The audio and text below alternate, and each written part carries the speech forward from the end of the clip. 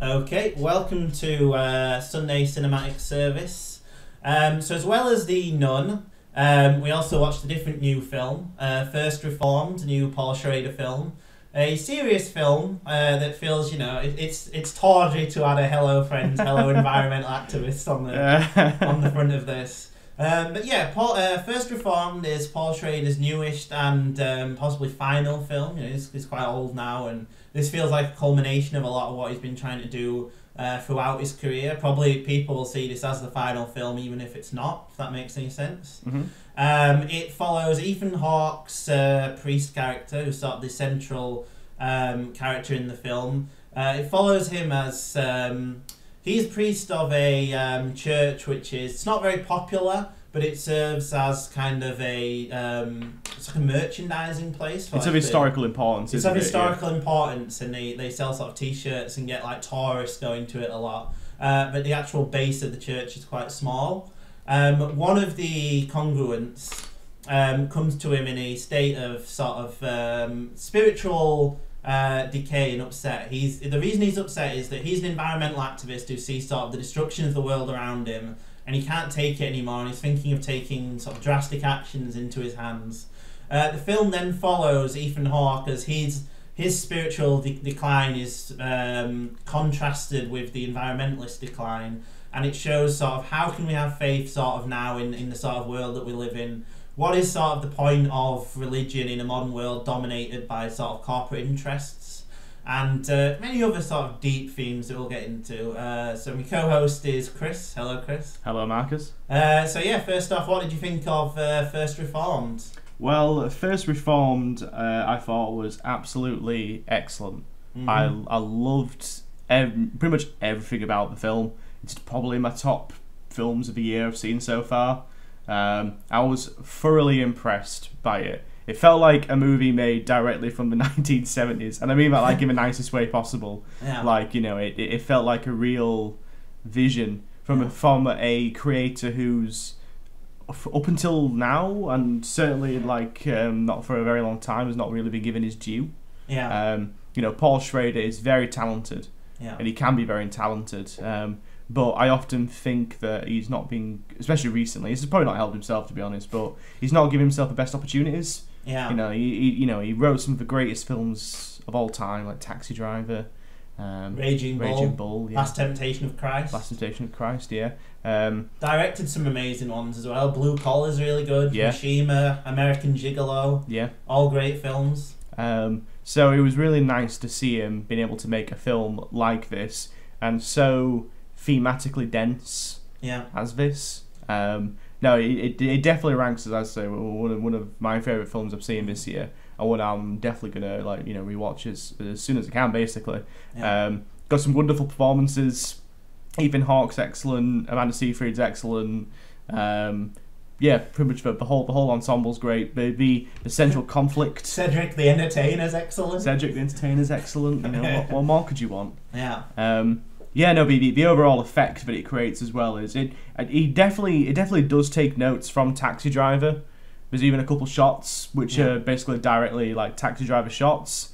Um, some people might criticize that, being like he's relying on his past glories, Mm. but it's a good structure. And it feels like a modern update rather than a rip-off. Yes, So Taxi Driver is very much a film about the seventies decay. You know, we had Yeah. the the crisis of sort of what was happening in America. It seemed to be in sort of constant decline. Obviously, something no one can relate to today. but like that was yeah, it was definitely a seventies version of decline. This feels like a decline both within America itself and the world as well. yeah, Like definitely. this is a film about the destruction of like essentially the human race. Yeah, it, it is. It is an apocalyptic film that has no like final apocalypse, if you know what I mean. Like, Mm. and that's kind of the things I really love about it. It, it kind of creates this like a really uneasy and yeah, I, I'm going to use the word again, but a very apocalyptic atmosphere where Yeah. it does feel like things are coming to some sort of end, Mm. which um, is quite bold, like really bold. Uh, Well, it's bold both to be the, of this age and to make a film that feels so final in every way, yeah, and also yeah, just one so like like this is a you know a man who's most people would see past his prime. His last few films were straight to DVD, yeah, and it sounded terrible and got bad reviews. And yeah, he comes out the gate now with something that you know is getting a wide release. People seem to love it. It's got big stars in again, like Ethan Hawke, and it just feels so contemporary. Like, when was the last film you saw so dedicated to like you know climate change and like what it means to sort of be alive today? If Well, you like, Well, that's the thing. I, I- that's the kind of thing that I like about it because you know it. The, the thing is with environmentalism in cinema is a massive topic, and I think it became a bit of a joke because in the early '90s you had Yeah. all these films know, about saving the rainforest, and in, and I, I think the Postman wasn't that the- one? Of them? yeah, yeah, the postman, yeah. Um, you know, we're gonna save the environment, and it became a bit of a joke.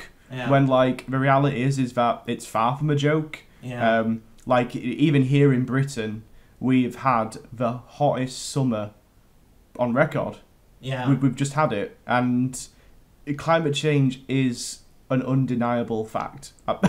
It's not a controversial statement to make, but it is at this point it is undeniable. So first reform does feel very timely, and I appreciate that it does treat that topic seriously because Yeah. it is easy to laugh at a film which is like oh we're environmentally conscious because you think of like you know FernGully or like you know Well, I think most people think of that awful film Into the Wild, uh, Into the Wild, yeah. which is about like you know a privileged rich boy who you know I can't take society, man, so he, he flees into the wilderness to to you know like to get away. I feel like most films it's because they take it from the point of view of like yeah.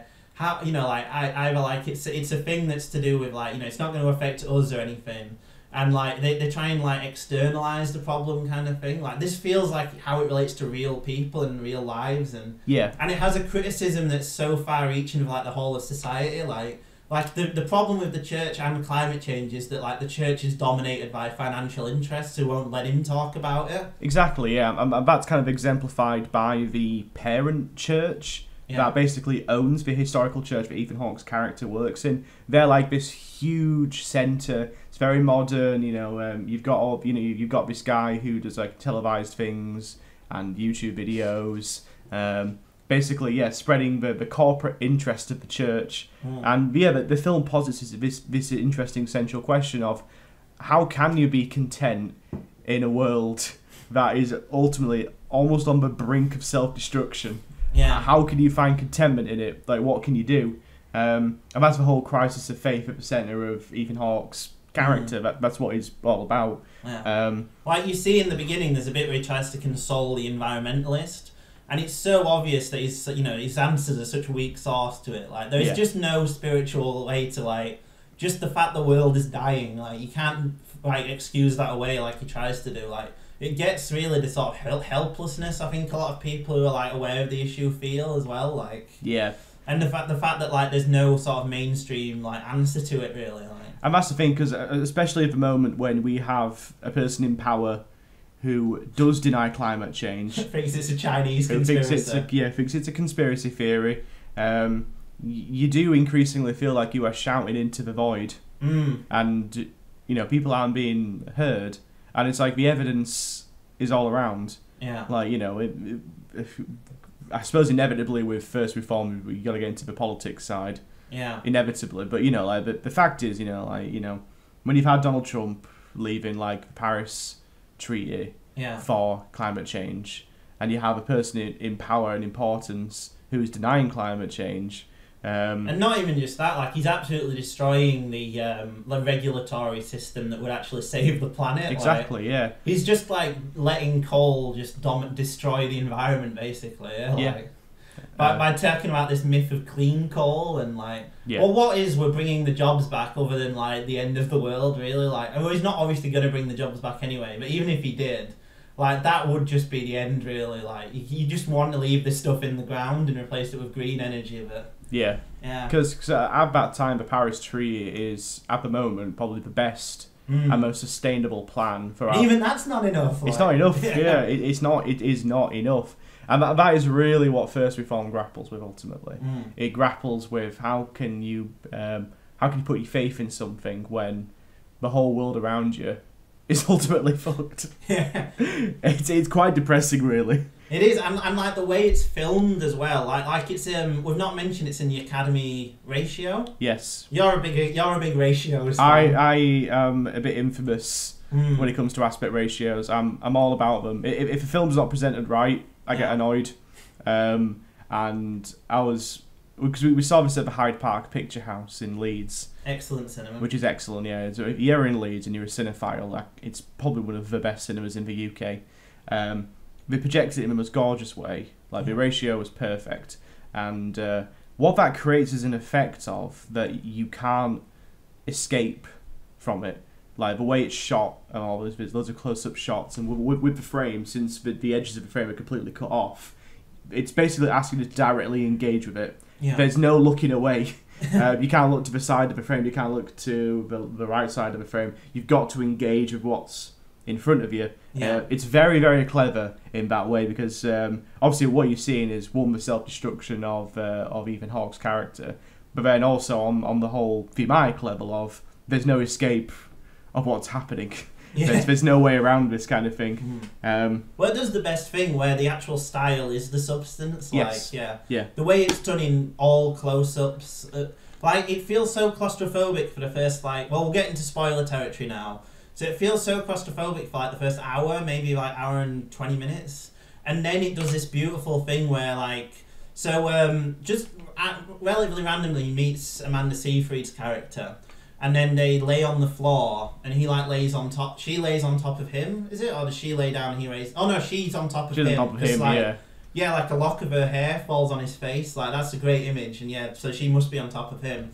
And then they sort of float above the earth, and it goes into this sort of montage of different sort of natural beauty of the world, and then sort of like it comes back to sort of freeways and tr- cars and like showing sort of what's been lost, and that that is one of the best moments in, in a film for like years. I think. Like, Yeah, definitely, yeah, yeah. yeah, the way it breaks that spell of the claustrophobia to sort of just just pull out the film in a way that feels completely natural, just just amazing. Like yeah, Yeah, it's it's. Um, I mean, like I, I have heard some people like from that point, I have heard people who criticize like the ending. Oh well, do you want to? Uh, yeah, we, we can get into we, the we get we, we, we can- spoilers. yeah, Yeah, we, we can might as well get into that. Yeah, um, but I, I have heard people in general like kind of criticize it. Mm. Um, for me, it's perfect. Like because at the end of the day, you know, there is a lot of problems going on. You know, there's a lot of unavoidable issues, yeah, but you got to take solace in what you have. yeah, You know what I mean? And Ethan Hawke finds someone who does genuinely make him happy. Uh, basically, he uh, Ethan Hawke's character is pushed to a point uh, where he kind of is about to do an act of uh, eco-terrorism.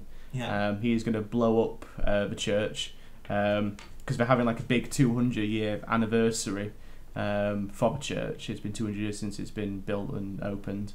Um, and at the ceremony, at the service, he's gonna he's gonna blow up the whole congregation, uh, Travis Bickle style. You know, killing the vested interests that are ruining the church. Yes, exactly. Yeah. Um, but ultimately, um, and it's it's a little it's a little bit like ambi- ambiguous. Uh, Ambiguous. ambiguous. Yeah, I, I don't know what I was trying to say there. Ambidextrous. um, it's a little bit ambiguous the way that it, the way it was done. But I think ultimately the, the takeaway for me was that um, Amanda Seyfried ultimately stops him, yeah, yeah, um, yeah. and um, it's it's taking the solace in what Ethan Hawke is able to peruse. You know, like appreciate what you have. yeah. is is my ultimate takeaway. I think.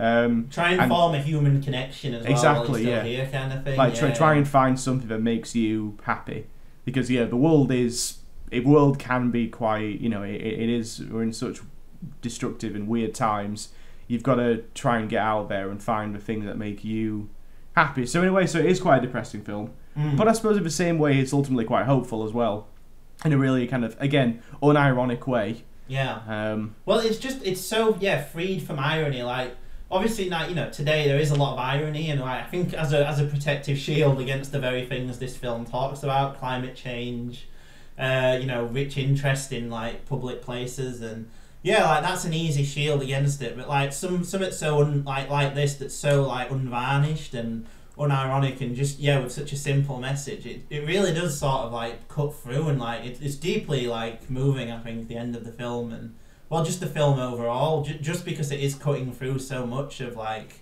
It it feels so relevant to now, and it feels like so so timeless as well. Like obviously the four x three helps, and Yeah. yeah, the classical. Like, it almost feels black and white as well. Yeah, yeah, Yeah, yeah, like there's very little actual color within the film. yeah. But yeah, just yeah, highest recommendations for the film. Oh yeah, completely. Yeah, yeah. I mean, it, it's probably out of general release now, but I imagine it will be long for like a like a home video or streaming release. Yeah. Um, so yeah, no, if, if you do get a chance to see it on the big screen, it is really recommended. It's probably still playing in art house. Well, it was only ever in art house Oh yeah, anyway. yeah. But yeah, if you're in Manchester, home may still have it Home might have it. Yeah, yeah. Yeah. Um, London probably definitely still there. Definitely there. Yeah, yeah. Uh, but yeah, great film. Anything else to add? It, it just feels so pure, like within the film. So like talking about it, like there's a lot to discuss, but it also feels like just to just to want to get people to see it, kind of thing. If you know what I mean? Like, Yeah, yeah, and, and it's for like it is for like a, a genuine reason where like if you are a cinephile and Yeah. you do love cinema, then you know the, the kind of the film that Paul Schrader made. Because I'd, I'd gone through a bit of a period where like you know I, I was seeing stuff in the cinema because I, I do a blog as well like a review blog. Yeah. I was getting a little bit disenfranchised with it, Yeah. a little bit like, ugh, you know, I got to see another. Like I was forcing myself to see films that like I wasn't ultimately bothered about seeing, Mm. like just because I could. yeah. Um, First we Reformed kind of maybe like, oh, you know what? I actually do like, I actually do like cinema. I, I, love it. Like, Yeah. you know, it's, it's it's always nice like something that comes along every now and then, which kind of like reinvigorates your interest. yeah. And I, I definitely feel that way like with First we Reformed. Well, yeah, like how much indie cinema is just like navel gazing garbage. as well, exactly. like, yeah, yeah, About someone in, in New York or someone who's, you know, like, oh no, I'm getting divorced and I love this younger woman. And yeah, yeah. But that's obviously Woody Allen. How did you? I, I couldn't have guessed. but, like just something that feels this like primal alive. Like Yeah. I think it's the best film of. It's quite difficult. It's in the UK. A lot of the best films in America come out early twenty. Like you know, Phantom Thread and Lady Bird oh are probably on the same level as this. yeah, definitely, yeah. Definitely Phantom Thread. Lady Bird's probably about the same as this, and I I'd think the Phantom. Thread's better than both. Yeah, but probably. obviously yeah. they're technically 2017 films. Is technically 2018. Yeah, but I, I, I for, for me, the way I do it is if a film goes on general release in the UK, Yeah. like in the year, that's how I kind of cheat and say, like, well, that's my film of 2018. But yeah, you're right, because we are technically 2017. 2017 ones, films, yeah. But for me, for us, we could only legally see them Yeah. in 2018, so yeah, they go on my list. But- Yeah, uh, definitely. For, I mean, to be honest, in general, this year, I just think as I mean, we might as well because we mentioned Phantom Thread and Lady Bird. I do think in general there has been some because you know, I get all the, I think a lot of the prestige films that come out.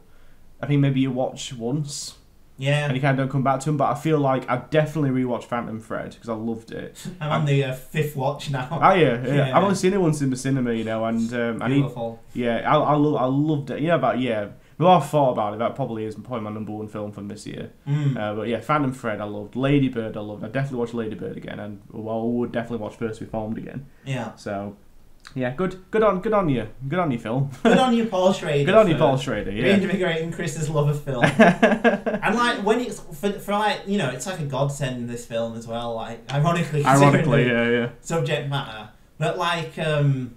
Like you know, like you just watch films at this time of year, and they're just such garbage. They're just Yeah. Marvel films, and like you know, just like just big budget crap, the sequels and stuff. For something like this to come out at this time during summer is yeah, it's it just yeah makes you feel good about film again. It's a nice solace, definitely. Yeah, yeah, yeah. Um, so yeah, no, I, I loved it. If you get a chance to see it, um, yeah, highly recommended. Yeah. Check out First Reformed.